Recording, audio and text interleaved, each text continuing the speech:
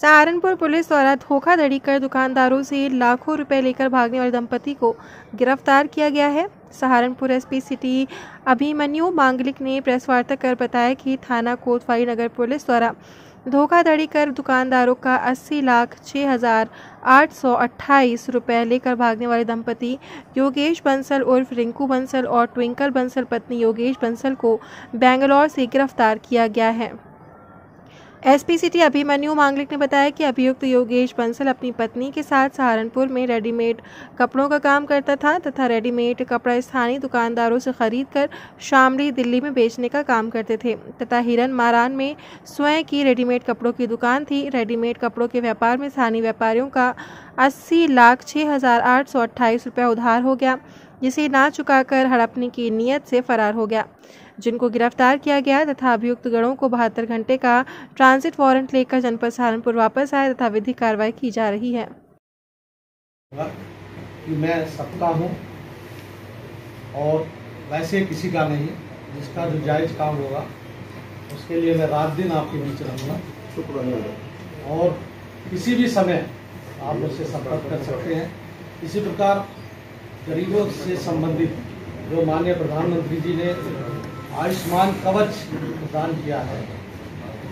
Sex सूची के लोगों के लिए, माननीय मुख्यमंत्री आवास योजना के अंतर्गत, श्रमिकों के लिए, उस पर भी अभी काम करना यहाँ आवश्यक है और उसमें अच्छा काम अभी इधर शुरू हुआ है। उस काम को भी हम लेंगे। विकास से संबंधित जितनी भी परियोजनाएँ हैं, चल रही हैं, उनके बारे में मुझे अभी एडीएम साहब ने सी साहब ने बताया है। बहुत महत्वपूर्ण परियोजनाएँ हैं। विश्वविद्यालय का माँ शाकुंभी देवी जी के विश्वविद्यालय का काम भी यहाँ पर होना है और इसके स्पोर्ट्स यूनिवर्सिटी है। कई बास बाईपास निकल रहे हैं, विकास की कई गतिविधियाँ जो बहुत तीव्र गति से आगे बढ़ी है। उनको बारीकी से अध्ययन करके जो भी उसके डेवलपमेंट में और काम हो सकेगा, वो मैं करूँगा। सबसे बड़ी प्राथमिकता उन्हें एक बार आप लोगों से शेयर करना है कि जनहित की रहेगी और शासकीय कार्य या शासकीय योजनाएँ जो भी जिसको लाभ पहुँचना चाहिए, वो बिना किसी धर्म, जाति का भेद मिटाए होगा क्योंकि यही हमारे माननीय मुख्यमंत्री जी की प्राथमिकता है। और यही विजन है जिससे कि समाज के प्रत्येक वर्ग को जितनी भी कल्याणकारी योजनाएँ हैं, उनका लाभ पात्रता के आधार पर हो, ना कि चेहरा देखकर।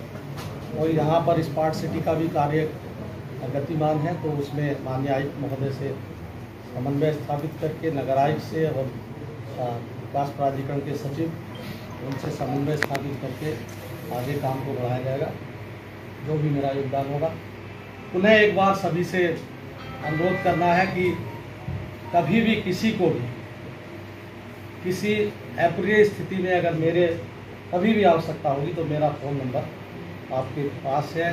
सरकारी भी, प्राइवेट भी, और आप कभी भी कार्य के लिए मुझे फ़ोन करेंगे तो आपको निराशा कभी नहीं और यहाँ के पत्रकार भाई जो बहुत उनमें मेधा है बहुत अच्छा लिखते हैं और बहुत अच्छा समन्वय रहा है उस समन्वय को हम भी बनाकर रखेंगे।